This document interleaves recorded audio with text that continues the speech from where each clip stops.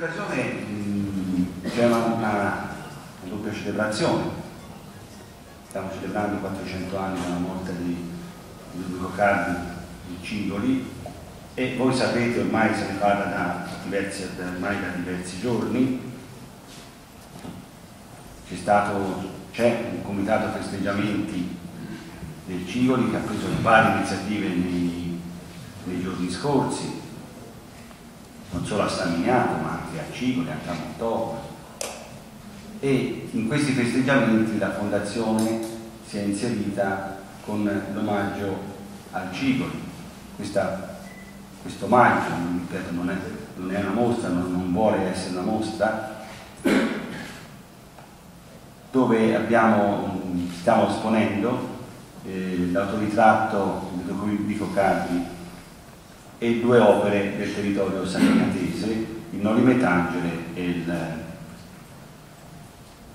la Madonna con bambini e santi. Questa mostra ci sta dando molti, molte soddisfazioni, devo dire. Devo dire molte soddisfazioni perché ho visto altre mostre anche qui a Sagnano, anche nella stessa Palazzo Grifoni, che ha dei hanno visitatori più o meno, qualcuna va, va meglio, qualcuna va peggio, devo dire che questa è una mostra visitatissima. Io non me lo sarei veramente aspettato, basta prendere giù il libro delle firme ed è veramente, veramente visitata. E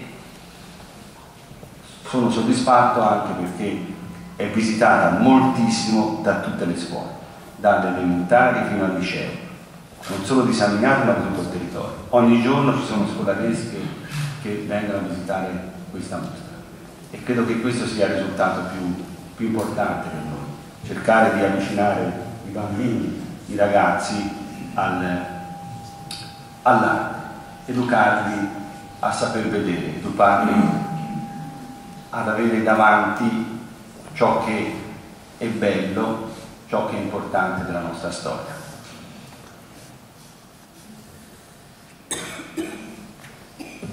Questo è, credo, uno degli ultimi eventi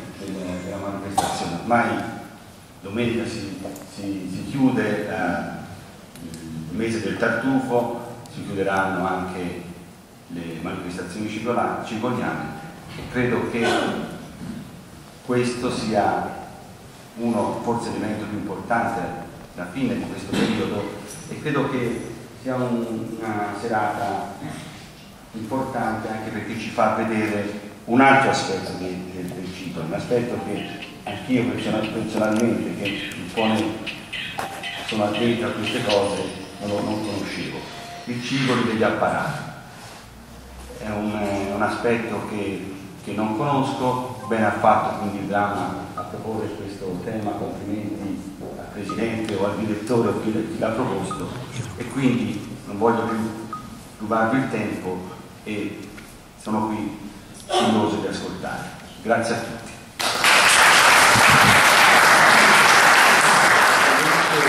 che è quasi obbligato per un direttore di un museo come la Galleria Palatina, perché il rapporto con i medici degli artisti e il Cigoli è vissuto al tempo dei medici, a differenza di Raffaello, di Tiziano, di artisti famosissimi che sono ben rappresentati nella, nelle collezioni di Palazzo Pitti, sul,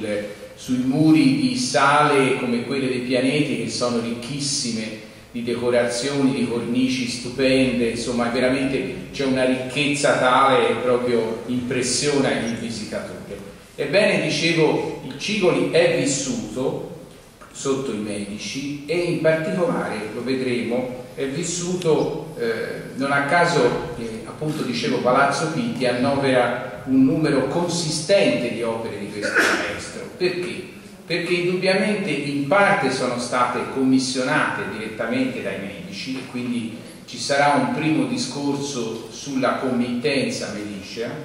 e poi dopo la sua morte nel 1613 le sue opere sono state ricercate dai membri della famiglia Medici, i Medici sono stati dei grandi collezionisti, noi lo sappiamo, e, e tutte le loro collezioni sono i, i, quadri che loro hanno raccolto con grosso dispendio di tempo e di spesa sono oggi sotto i nostri occhi prevalentemente proprio nella Galleria Palatina. Ebbene, dicevo, grandi collezionisti e, e grandi estimatori delle opere del Civoli, perché vedremo proprio attraverso anche queste figure di medici del Seicento che non avevano le cure dello Stato come il Granduca Ferdinando II oppure i suoi discendenti, ma i membri cosiddetti cadetti della famiglia, i fratelli del Granduca, eccetera, erano dei grandi collezionisti. Alcuni quadri di questi, anche famosi come la, la lapidazione il martirio di Santo Stefano, appunto sono oggi nelle collezioni, sono, in questo caso questo è uno dei capolavori di, di Civoli, appunto eh, un quadro che eh, è firmato e datato 1597, eseguito per il monastero delle Suole di Montedomini, un'opera però che è entrata nelle collezioni grazie alle soppressioni francesi, come gran parte dei quadri che si trovano oggi agli Uffizi. Le soppressioni hanno portato a, a un incremento enorme delle collezioni, si dice tanto che i francesi hanno portato via i quadri dall'Italia, a parte l'hanno dovuti restituire anche, alcune, alcuni quadri sono rimasti in Francia, però il grosso delle collezioni per esempio della Palatina erano andate a finire a Parigi e al Louvre sono rientrate dopo la caduta provvidenziale, io la chiamo sempre così, di Napoleone a Waterloo perché altrimenti ci sarebbe toccato andare in Francia a vedere i nostri quadri, a apprezzarli al Louvre. Ebbene, questo quindi entrò nel 1814 nell'Accademia di Belle Arti e, da, e poi nel 1928 viene trasferito alla Galleria Palatina. Un altro quadro ha, ha avuto una sorte analoga, le bellissime stimate di San Francesco di Civoli, una, uno dei capolavori proprio della pittura eh, barocca, della pittura controriformata, questo santo che ha un'estasi quasi come la Santa Teresa del Bernini, vedete con questo squarcio anche scenografico, poi meglio di me parlerà proprio sull'argomento l'altra la, la, relatrice di questa serata, e quindi anche il modo con cui il paesaggio è a quinte, vedete, insomma, indubbiamente c'è un taglio scenografico che è presente in tutte le opere di, di pittura. Ecco, anche questo è entrato grazie alle soppressioni. Comunque la committenza medicea è stata una committenza costante, l'artista anche se poi si è distinto principalmente anche come grande pittore di pale d'altare nelle chiese dello Stato mediceo, quindi tante sono a Firenze, tante sono come alcuni quadri appunto in mostra qui vengono dal territorio, dal fatto che, che il Cigoli era apprezzato ovunque eh, la committenza medicea vedete va dal 1589 al 1609 alla morte cioè di colui che fu il suo questo è il, il ritratto che l'autoritratto è qui in mostra famosissimo degli uffizi anche questo vedremo ci ritorneremo sopra perché la data probabile è 1604 ma c'è una notizia un po' contraddittoria si dice sia stato Cosimo II a commissionarlo direttamente all'artista, peccato che Cosimo II nel 1604 ancora non fosse eh, Granduca perché ancora c'era suo padre Ferdinando I che muore appunto nel 1609 che è la data proprio. Quattro anni prima del Cicoli muore il suo mecenate, il suo grande protettore, il Granduca Ferdinando I, vedete era nato nell'87, ecco questo è un ritratto di Ferdinando I, già cardinale come voi sapete, cardinale che poi così provvidenzialmente possiamo dire eh, la morte del fratello Francesco, fratello primogenito, il cosiddetto principe dello studiolo, nel 1587 sale, lascia la porpora cardinalizia, qui lo vediamo nel bellissimo ritratto di Scipione Pulzone del 1590 della serie aulica degli Uffizi, vedete vestito da gran maestro dell'ordine militare di Santo Stefano fondato da suo padre con questo elmo francese che probabilmente era un regalo della sua sposa Cristina di Lorena. Ecco, eh, naturalmente dell'aspetto teatrale io sorvolo perché si soffermerà, comunque è interessante perché il Cicoli è stato come gli si richiedeva, come si richiedeva agli artisti del suo tempo, anche un pittore di apparati, un apparato importante fu quello del 1589 in occasione delle nozze di Ferdinando I con Cristina di Lorena e il Cigoli sappiamo che realizzò per l'arco di Porta Prato la battaglia di Benevento di cui abbiamo qui un'incisione, vedete che eh, ci dà un'idea di questa composizione di un Cigoli ancora abbastanza giovane ma che già si sapeva muovere molto bene a livello compositivo, vedete questo un ricordo anche delle battaglie dello Stradano, del Tempesta, eccetera, con questi gruppo in primo piano con le bandiere e poi tutto il paesaggio slontanante della battaglia. Don Giovanni dei Medici è un altro eh, medici appunto che nota il Cicoli e lo chiama a lavorare primo incarico che noi abbiamo a parte questo arco trionfale di cui si diceva di questo dipinto è andato purtroppo perduto, abbiamo testimonianza solo da quell'incisione di Raffaello Gualterotti. Ebbene, Don Giovanni, che qui vediamo, che tra l'altro era figlio, diciamo, illegittimo di Cosimo I e di Eleonora dell'Albizi, ed era un, versato molto nell'architettura, nelle, nelle, eh, ovviamente nelle scienze anche nell'arte militare, eccetera. E lui a chiamare il Cigoli a lavorare a una piccola pala d'altare che abbiamo in Galleria Palatina, è un quadretto che non si direbbe fosse così piccolo, perché lui nel piccolo formato, vedete, concepisce una composizione completa. Questa resurrezione era la pala d'altare nel 1590 per l'altare della cappella dei forestieri, quindi vicino eh, una, un, un luogo che era importante, il Ferdinando fa fare molti lavori proprio in previsione dell'ospitare anche tutti gli ospiti, avere tutti gli invitati alle sue nozze, quindi Palazzo Pitti viene eh, così eh, ad ampliarsi, ad, ad, avere nuovi spazi di, per l'ospitalità. Ecco, nel 1598 il Cigoli per esempio è, eh, realizza degli apparati perché si usava allora quando moriva un sovrano, un sovrano in questo caso importante come Filippo II di Spagna nel 1598, un po' anche in Toscana la chiesa di San Lorenzo veniva, la chiesa medicea, veniva apparata con, questo è un disegno che fa capire veramente come Cigoli fosse veramente versato, essendo stato allievo di Bernardo Buontalenti, nella scenografia, negli apparati temporanei, nei posticci, quindi questi schizzi molto veloci. Tra l'altro abbiamo anche, oltre ad avere un nucleo di opere veramente impressionante, di dipinti e superstiti, abbiamo anche più di 300 disegni di Cipoli, uno dei nuclei, il nucleo forse più importante al mondo, che sono nel gabinetto disegni e stampe. Ecco, qui per esempio abbiamo l'allegoria dell'Asia, che è dipinto perduto che era per queste, per queste celebrazioni del re di Spagna, vedete Civoli con questa libertà, con questo capriccio, questa fantasia, è quadrettato per l'ingrandimento, un disegno sempre del gabinetto di segni. Poi un altro apparato importante fu quello per le nozze di Maria de' Medici e questo stemma si riferisce proprio a quelle nozze lì perché c'è lo stemma dello sposo a sinistra, vedete i figli d'oro che erano in campo azzurro del re di Francia, Enrico IV, e a destra Medici Austria, perché Maria de' Medici era figlia di eh, Francesco I e quindi e anche di, di Giovanna d'Austria. Poi abbiamo Cigoli che lavora per la razzeria Medicia, per esempio Guasparri Papini in questi anni fine 500 tesse sul disegno del Cigoli, appunto Cristo che viene presentato a Erode con una, una bordura invece che è sul disegno di Alessandra Allori a cui invece spettano la, la maggioranza dei cartoni impiegati in questi sette eh, arazzi con storie di Cristo commissionate appunto da Ferdinando I dei Medici.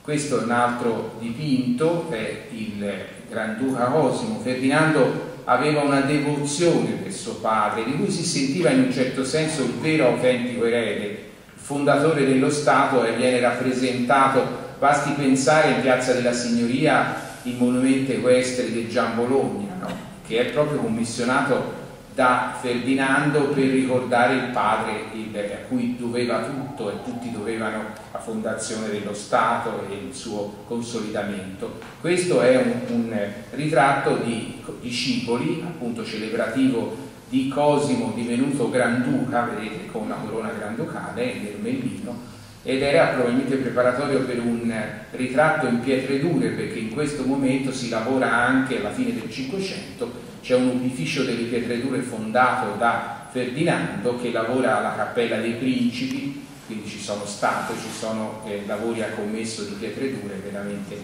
impressionanti. Ebbene, un altro incarico importante, di cui questo dipinto è San Pietro che risana lo Storpio, il Cicoli si trasferisce a Roma, viene chiamato a lavorare alla fabbrica di San Pietro in Vaticano e lì ha modo veramente di dare un saggio delle sue capacità anche di grande architetto, non solo di pittore, di scenografo, di, di artista veramente completo. Questo è un disegno del gabinetto di segni e stampe che dà un'idea proprio anche della sprezzatura, della velocità, della, della abilità, in modo anche proprio di usare l'acquerello, vedete, con, con grande abilità e, e, velocità, insomma anche la penna e l'inchiostro sono veramente usate con una, con una sicurezza incredibile questo, questo, da questo grande artista.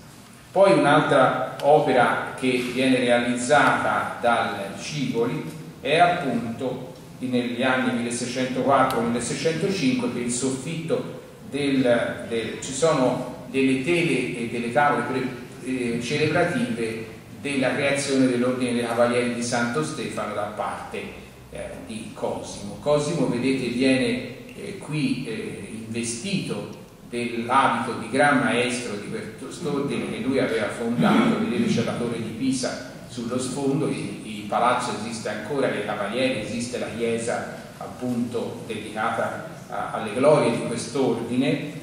e eh, quindi l'episodio è del 1562 ma la, la versione che ne dà il, il cibo è realizzata nei primi anni del 600 poi viene anche realizzato dal Civoli una pittura di piccole dimensioni, questo è il Musée Fabre a Montpellier, un rame, vedete, con la fuga in Egitto e anche questo è un quadro sempre commissionato dai medici che furono specialmente Ferdinando e Cristina degli estimatori dell'artista che fu da loro protetto e incoraggiato in ogni modo. Ecco, il Cicoli lavora anche con altri artisti in un ambiente che purtroppo noi eh, per mancanza di personale dobbiamo tenere quasi sempre chiuso, è una delle sale dedicate alle virtù al centro del soffitto, questa è la virtù della carità appunto di Scicoli, vedete le decorazioni anche molto ricche, siamo agli inizi del Seicento e questo era l'appartamento dei cardinali e dei principi forestieri si chiama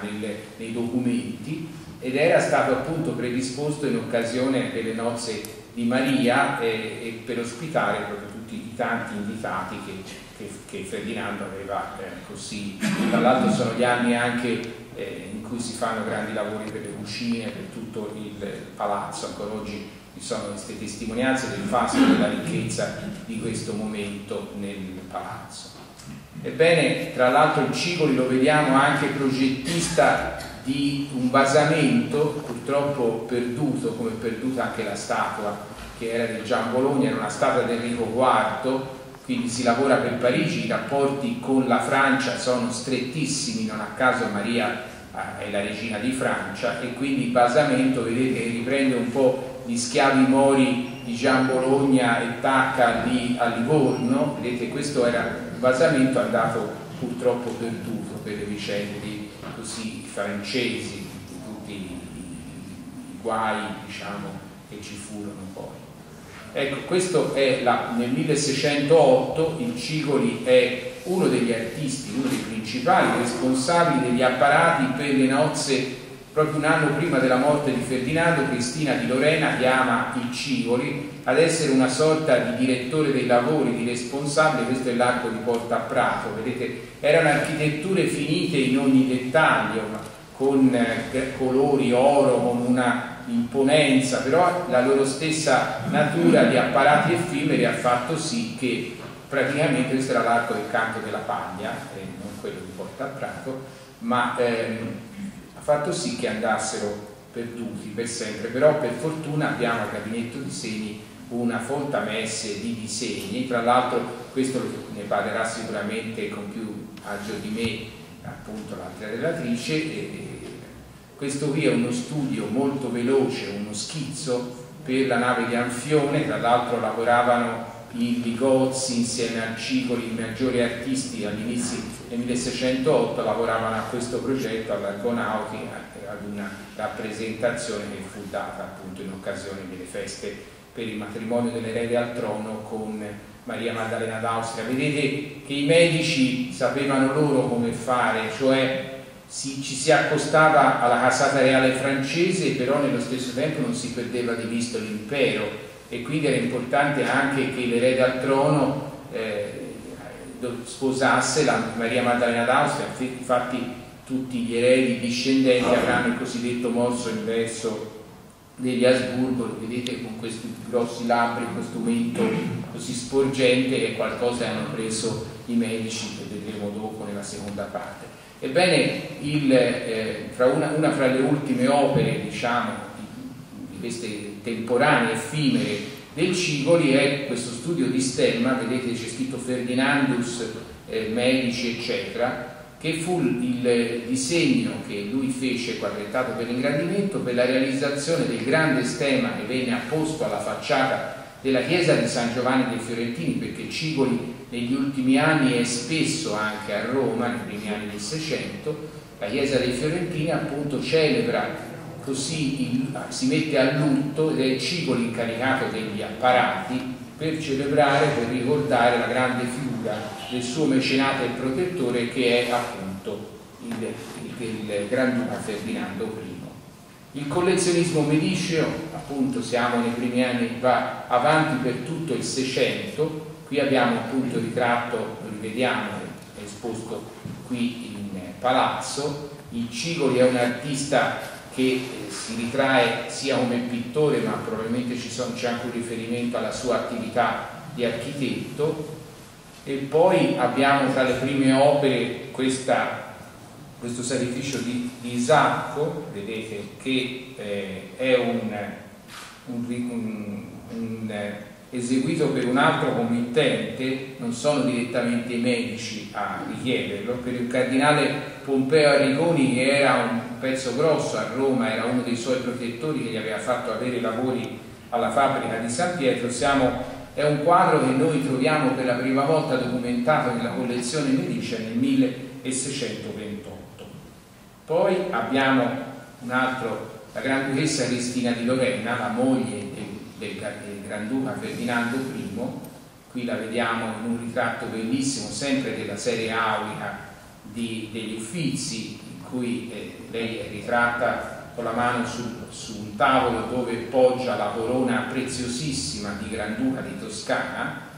quindi eh, le, Cristina fu una figura importante, una collezionista che tra l'altro eh, fece portare nelle collezioni fiorentine delle opere di Andrea Alessandro che veniva alla chiesa di San Jacopo Frafossi insieme a Maria Maddalena d'Austria. C'è stato un periodo in cui le due sono state le reggenti perché il figlio Ferdinando II era in minore età quando muore appunto il padre Ferdinando I e quindi eh, abbiamo ecco lei fa eh, venire eh, diciamo dalla nelle collezioni la vocazione dei Santi Pietro Andrea della Palatina, appunto, eseguita fra il 1604 e il 1607 ed è documentata nel, a Palazzo Pitti nel 1628 appresso l'Altezza Serenissima, cioè appunto la, la vedova di Ferdinando I. Un'altra, un altro protagonista è il figlio di Cosimo II, Ferdinando II, e qui lo vediamo nel ritratto del Sutterman, vedete i medici si somigliano un po' tutti da un certo momento in poi, lui per esempio i suoi fratelli, il cardinale Leopoldo e così via, hanno tutte queste grosse labbra, questo viso inconfondibile che proprio è quello dei medici del Seicento. Ferdinando II è stato il marito di Vittoria della Rovere, è stato un grande collezionista, un grande l'autore degli ampliamenti delle grandi decorazioni di Palazzo Pitti, insomma ne dobbiamo tantissimo e lui si procura, diciamo, riesce ad avere eh, in ultima istanza questo capolavoro di Cicoli che è proprio in una delle sale è impressionante perché proprio a, un livello c'è un'immanenza con eh, queste figure di Manigoldo in primo piano il Cristo Lecce Homo, che fu fatto, pensate, in con a concorrenza con un quadro di eh, Caravaggio che fu fatto per la famiglia Massimi di Roma e appunto il quadro di Caravaggio è probabilmente questo Ecce Homo di, di, della collezione di Palazzo Bianco, quindi vedete insomma era un paragone, però Cipoli non, non sfigura, se voi guardate bene, tutt'altro, insomma è una prova veramente del grande maestro, anche guardate il modo con cui illusionistico il panno viene verso l'osservatore queste corde in primo piano, le catene con cui il Cristo è legato, certi dettagli sono veramente impressionanti. Ecco, il cardinale Carlo Decano è un altro dei medici del Seicento che così colleziona opere di quello che vediamo, il ritratto del Suterman, questo che era il fiammingo ritrattista ufficiale dei medici nel Seicento, e qui lui aveva, pensate, questa pietà che, che oggi si trova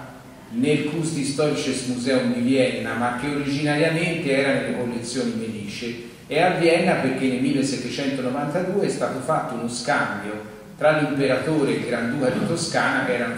erano due fratelli, e, ed erano tutti e due a Asburgo Lorena, quindi questo quadro è andato a Vienna perché a Vienna c'era bisogno di opere fiorentine, di opere toscane che mancavano nelle collezioni imperiali.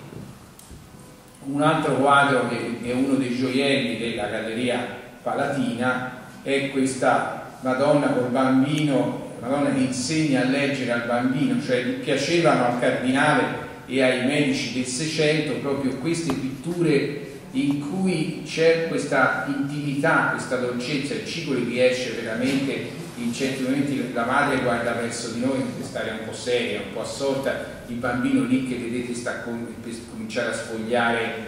a compitare in un certo senso, a leggere le cose, questo cesto in primo piano sulla destra, insomma questo, questa quinta scura, cioè le figure che risaltano anche con, questa, con questi loro colori splendidi contro il paesaggio. Poi abbiamo anche delle sempre il cardinale aveva questa bellissima Santa Maria Maddalena che è del Cipoli ed è veramente uno dei capolavori, sono tutte opere nella Galleria Palatina, per questo vi dico che noi siamo fortunati ad avere veramente una collezione come questa che come vedete viene dal gusto, dal, dalla capacità di scegliere anche le cose più importanti di questo maestro. Questa invece è una versione sempre forse con l'intervento anche della bottega, un po' meno di qualità di quella che abbiamo visto prima, sono comunque tutte e due nelle collezioni della Galleria Palatina. Poi abbiamo il principe Mattias, che è stato governatore di Siena, questo è lui ritratto da Sutterman, anche questi sono quadri spesso nelle collezioni della Galleria Palatina. E poi abbiamo questa Sacra Famiglia Giovanile del Civoli, vedete in cui c'è un San Giuseppe quasi di sfondo che fa capolino, la Madonna che guarda il figlio che ha tutti questi fiori in mano, c'è questa intimità, questa dolcezza che il Cicoli sa infondere nelle sue sacre composizioni, proprio anche questi colori un po' sfumati alla Barocci per intenderci, cioè la Madonna del Popolo è stato un testo importantissimo anche per Cicoli come per gli altri pittori della sua generazione il cardinale Leopoldo è stato, ci stiamo avviando alla fine, è stato un grandissimo personaggio, un grande collezionista. Qui abbiamo un ritratto della sua ultima, lui devo dire non è che eh, ha scelto lui di diventare cardinale, lui era principe, poi è morto lo zio e, e il fratello ha detto va bene, dice il cardinale di famiglia ci vuole, però lui è vissuto, possiamo dire, più da principe che da cardinale, in quanto è stato uno dei più grandi collezionisti della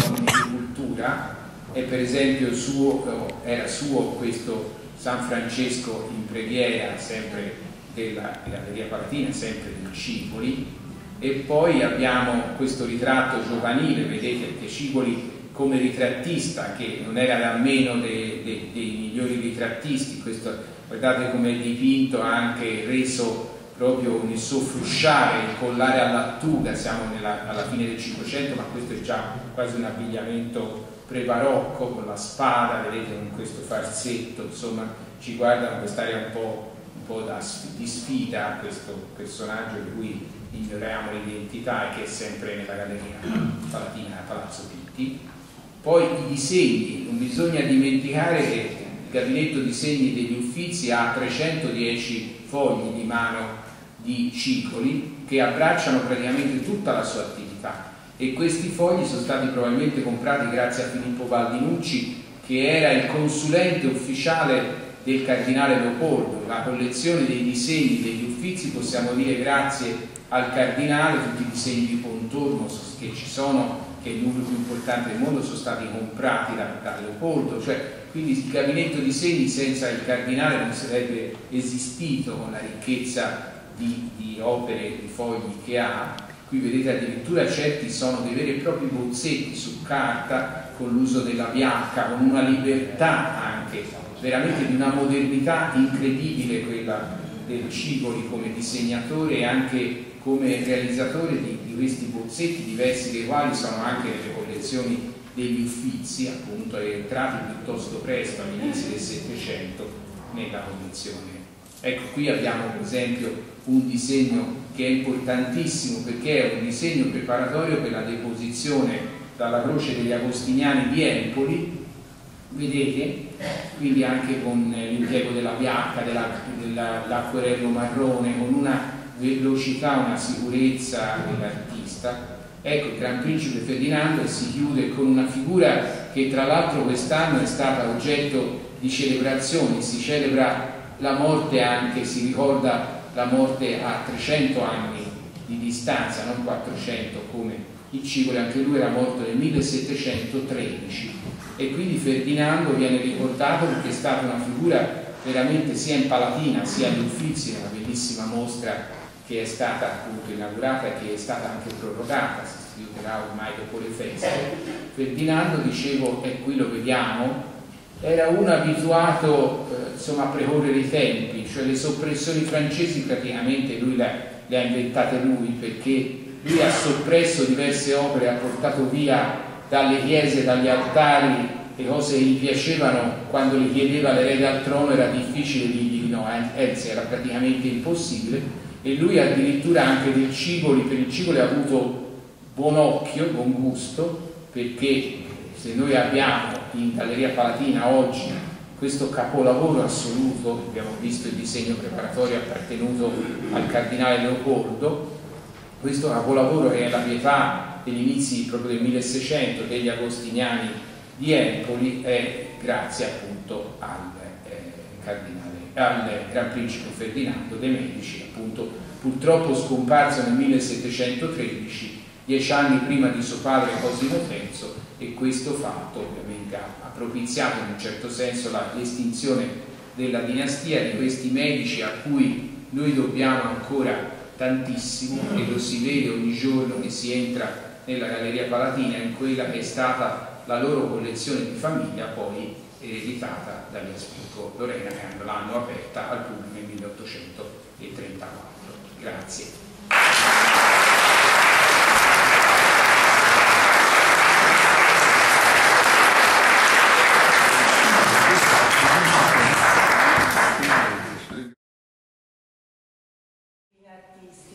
e ora sono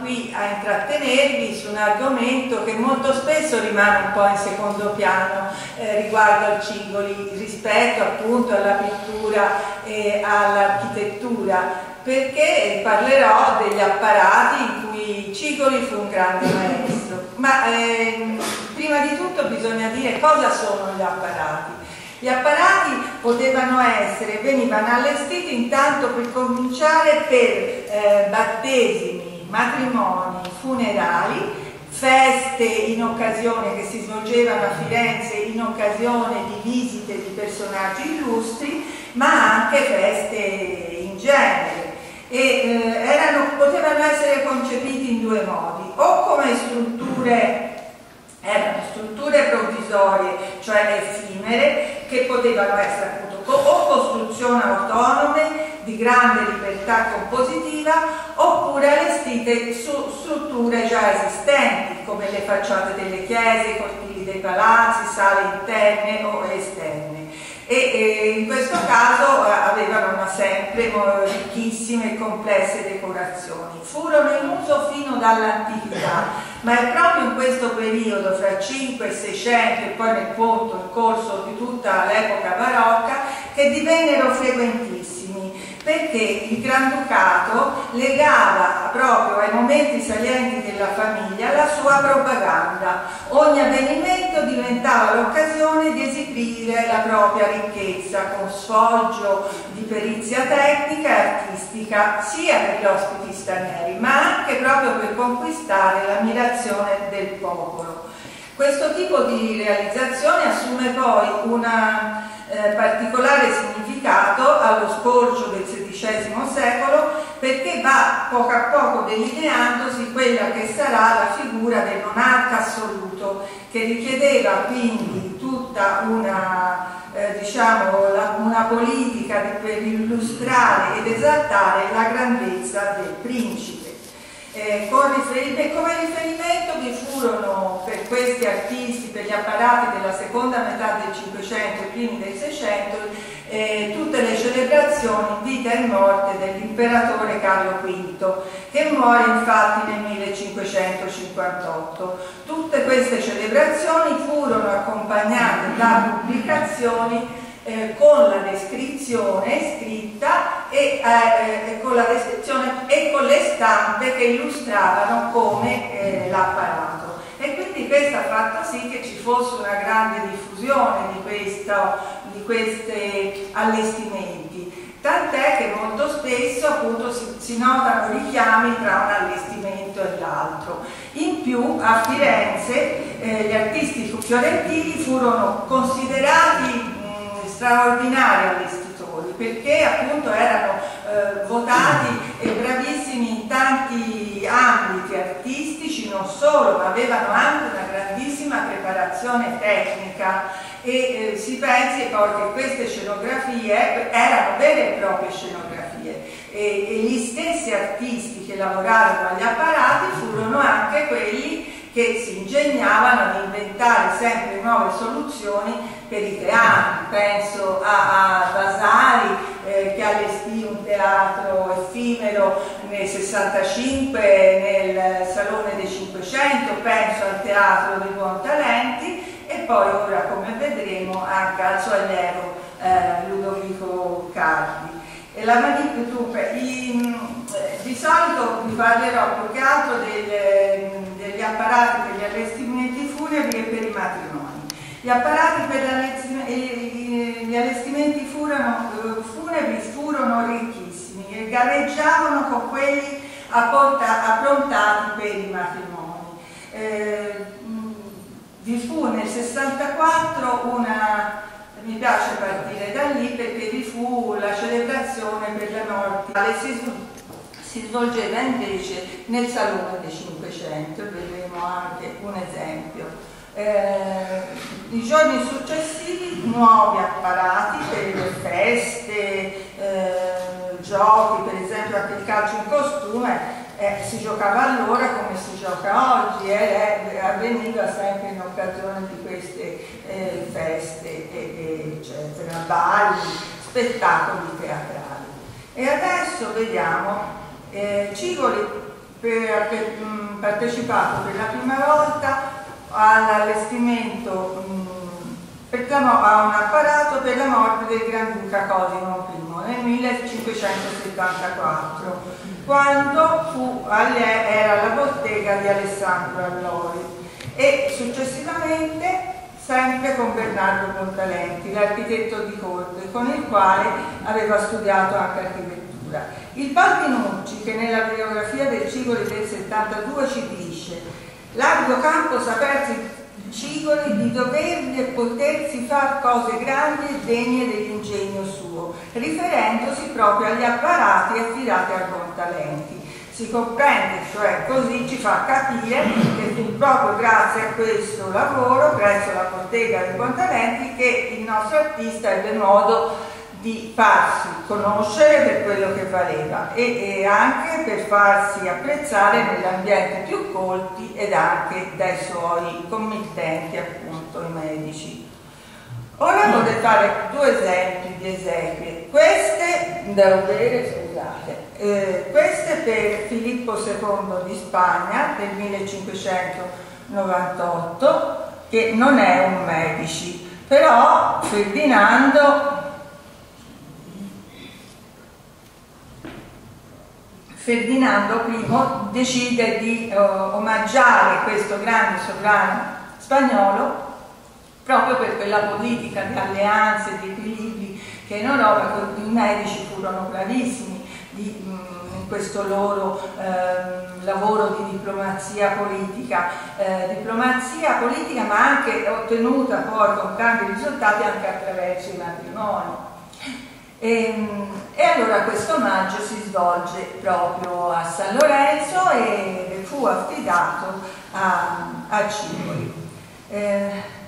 i lavori sappiamo che furono condotti con molta accuratezza, proprio perché si, si temeva il confronto con, altri, eh, con le altre corti europee. Trattandosi di un sovrano così importante, tutti tributavano questo omaggio a questo, questo omaggio funebre, diciamo così. E i temi furono trattati, furono la potenza del re e la sua grande fede una, si tenne una grande celebrazione in San Lorenzo e un'altra nel cappellone degli spagnoli in Santa Maria Novella, che è una cappella, era il capitolo di Santa Maria Novella, ma di dimensioni più corte. Di entrambe le cerimonie ci sono rimaste le due descrizioni, le due pubblicazioni, una del 1598 e una del 1599 ci sono pervenuti poi molti disegni preparatori e poi 13 delle grandi tele a monocromo, delle 24 che ornavano la Basilica Brunelleschiana, che ora sono state restaurate, queste 13 tele, e sono conservate nei depositi gallerie. Ci, ehm, sappiamo dai documenti che l'apparato fu, fu definito sontuosissimo e legale Ecco, vediamo qui eh, un, un, disegno preparatorio per uno dei dipinti che però è andato perduto, attribuito appunto a Cigoli e a eh, Fabrizio Boschi, un altro pittore del periodo. Ecco, ma volevo farvi anche vedere come erano questi dipinti a monocromo. Questo è quello del Boschi, poi vediamo questo di Jacopo Rigozzi, sono, vedete, i soggetti tutti relativi alla vita del sovrano a Filippo II di Spagna. Ecco un altro dell'Empoli. Quindi già i nomi vi fanno capire come eh, il lavoro era un lavoro che, a cui appunto partecipavano tutti i più grandi artisti dell'epoca. Ecco, questo è il disegno che avete già visto precedentemente, la grande libertà, proprio eh, vedete tutte quelle fasce, eh, erano fasce molto scure che inquadravano emblemi.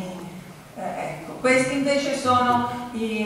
gli schizzi del Cigoli per eh, il, cata, il, il catafalco. A destra vedete quello per eh, Santa Maria Novella, mentre a sinistra è il coronamento del del catafalco di San Lorenzo. Ecco ancora degli schizzi. E questa invece è la, le stampe relative all'apparato della descrizione. Come si può vedere questi, la facciata era, vedete, interamente, che peraltro non ha decorazioni, no? la facciata di San Lorenzo, qui è tutta completamente rivestita di panno scuro, con al centro eh, tre, i tre ingressi sono eh, diciamo inquadrati, accompagnati da questi grandi scheletri, non so se li vedete, li vedete, sono scheletri quelli dalle parti, ammantati, vestiti scuro e sopra le due porte laterali ci sono eh, l'Asia, la, eh, l'allegoria dell'Asia e dell'Africa di cui abbiamo già visto questo disegno preparatorio conservato agli Uffizi E, eh, ecco, questa è la controfacciata. Nella controfacciata c'è sopra gli ingressi laterali l'Europa e l'America. Questo perché a simboleggiare la potenza di Filippo II su tutti i continenti conosciuti del, di allora. Queste invece sono le navate, ecco, si notano, vero, in testa le due grandi eh, tavole, le due grandi dipinti, scusate, tele a monocromo e poi che si ripeteranno lungo tutta la navata sopra gli altari. Ecco, e ora di nuovo un altro schizzo per considerare questo baldacchino. Eh, il baldacchino o catafalco ecco, era particolarmente, è particolarmente interessante perché il feretro sotto, vedete nella parte bassa, era rivestito con un damasco dorato, così come anche eh, il feretro appunto, e il, il cuscino tutto in tessuto e ricamato di pietre dure e gemme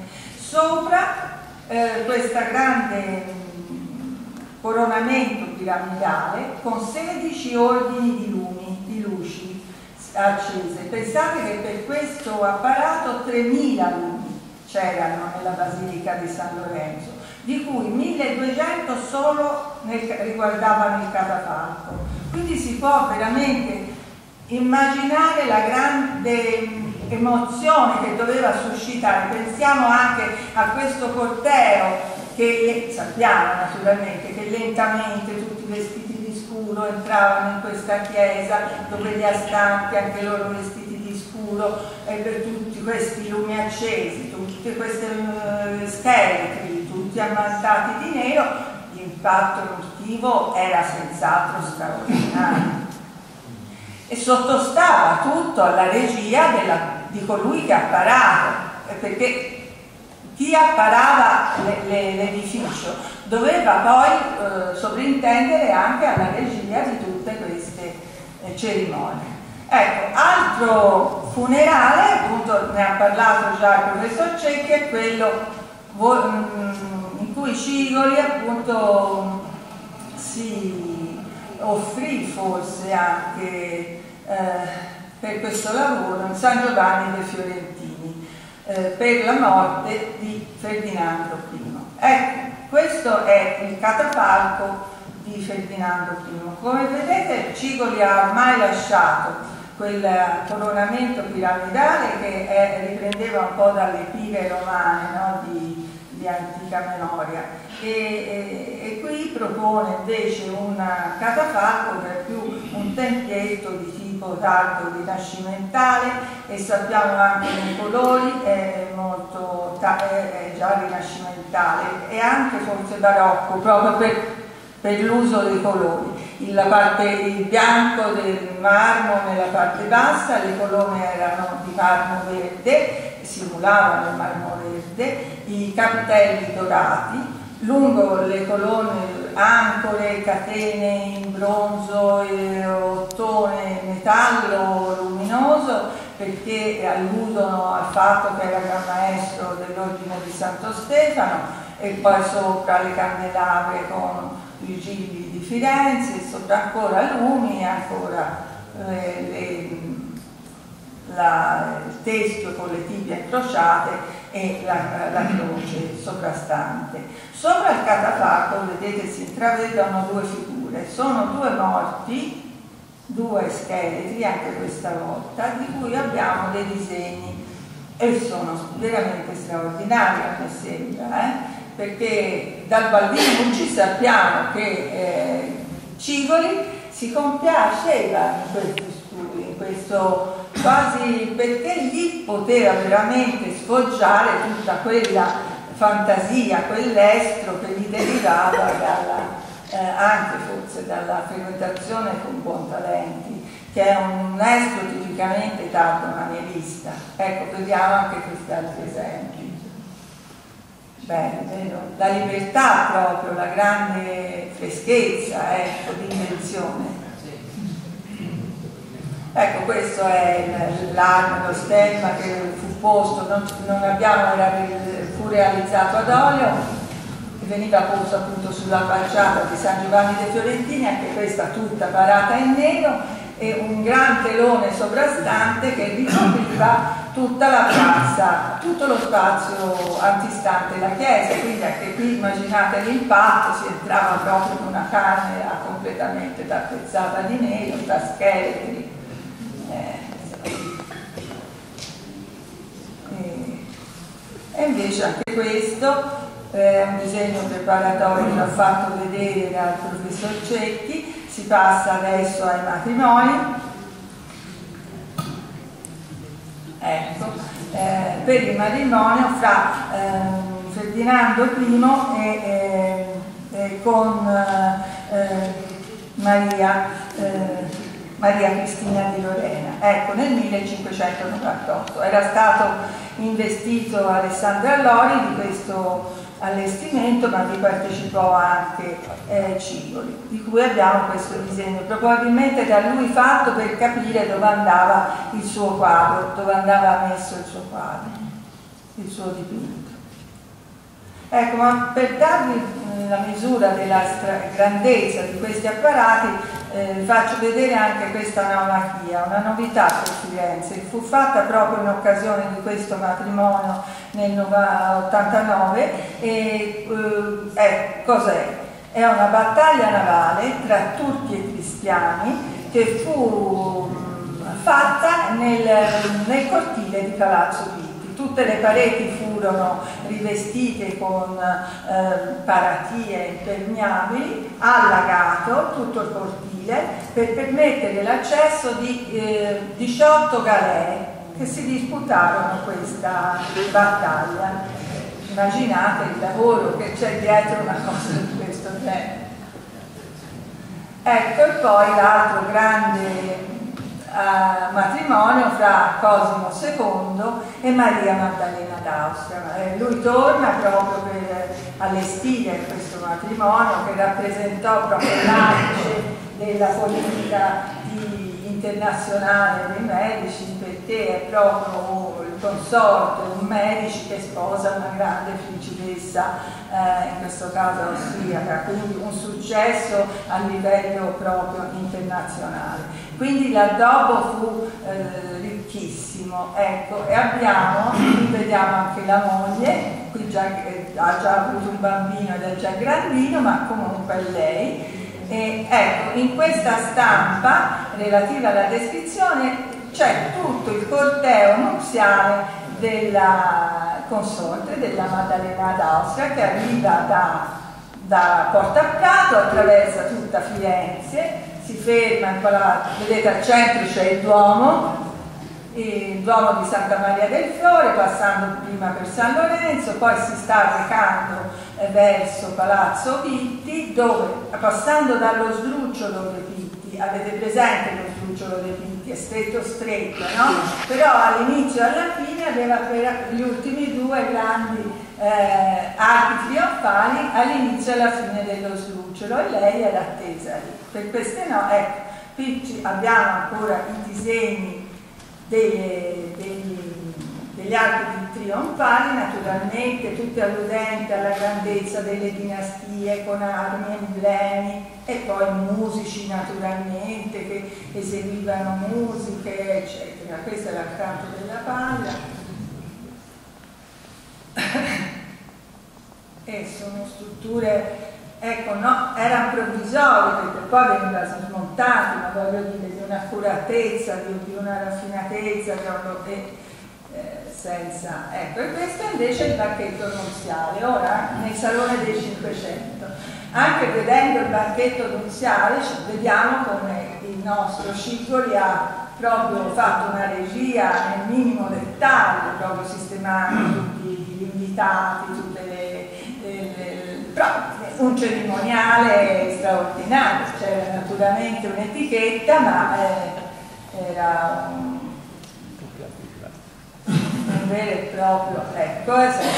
questo, eh, perché ci piace, lo mettiamo sempre questa nave perché è molto bello come disegno, e questa battaglia navale, anche questa un'aeronautica che si svolta in Arno, si facevano anche le battaglie in Arno, oltre che nel, eh, con tante navi naturalmente.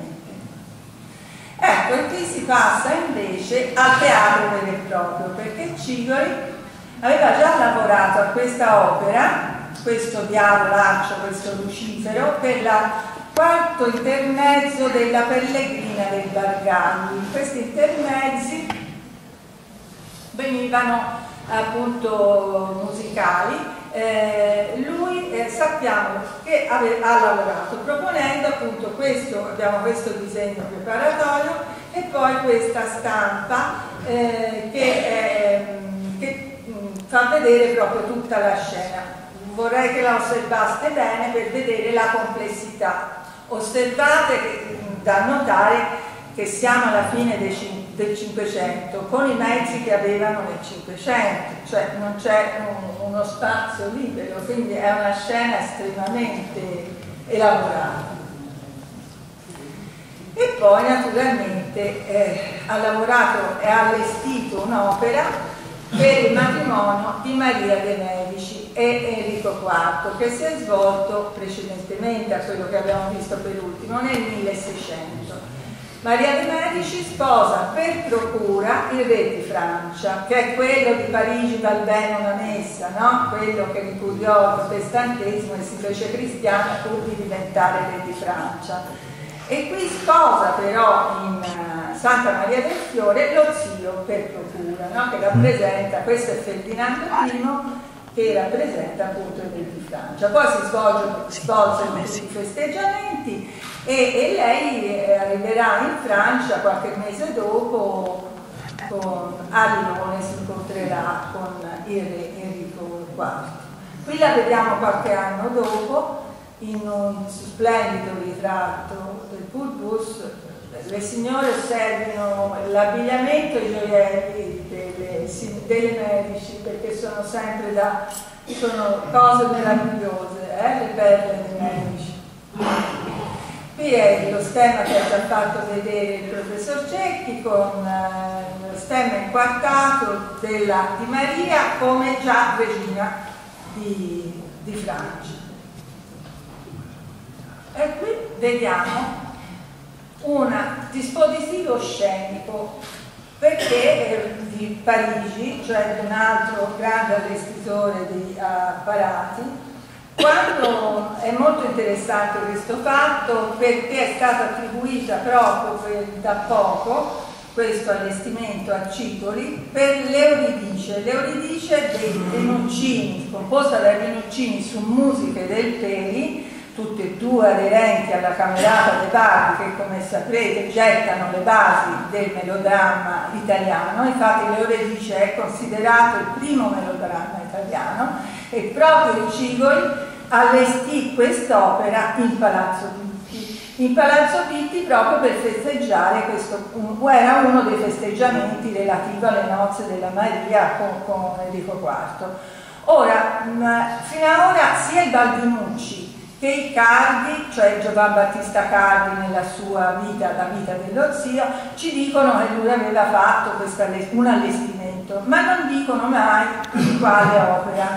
Invece di recente una studiosa di storia dello spettacolo, Testa Verde, ha trovato un documento relativo, cioè una richiesta di pagamento del Cipoli, dove lui descrive nel dettaglio proprio tutta la scena ed anzi chiede anche un risarcimento da anni di 25 studi perché il Granduca Ferdinando I gli aveva fatto spostare la stanza, cioè da una sala a un'altra. La seconda, quella definitiva, era più grande della prima. Allora lui dice, si lamenta che dice ho dovuto ricomprare tutto, riapparare tutto, mi dovete, mi dovete dare più soldi. E così è, è, stato. E noi sappiamo finalmente che quest'opera famosa che lui allestì è proprio l'Euridice del Rinocini e di cui però eh, abbiamo la descrizione, io ve la posso descrivere ma non c'è rimasto quasi niente al di fuori di questo disegno. Questo disegno è un altro disegno eh, un pochino più grande, eh, ora sappiamo che sono dei disegni preparatori del Cigoli per questa mh, importante opera Ecco, com'era un teatro? E questo è un allestimento effimero, perché non è un teatro stabile, è un teatro allestito e poi veniva smontato. È palcoscenico eh, con un proscenio, un grande parapetto rivestito, con due nicchie laterali, un arco scenico, proprio come siamo abituati ora noi a vedere un teatro, con un grande telone, una grande tela dipinta a simulare il cielo e delle quinte movibili che si muovevano sia in, per largo che per verticale perché venivano tirate su da degli organi che come abbiamo visto dovevano somigliare a questi.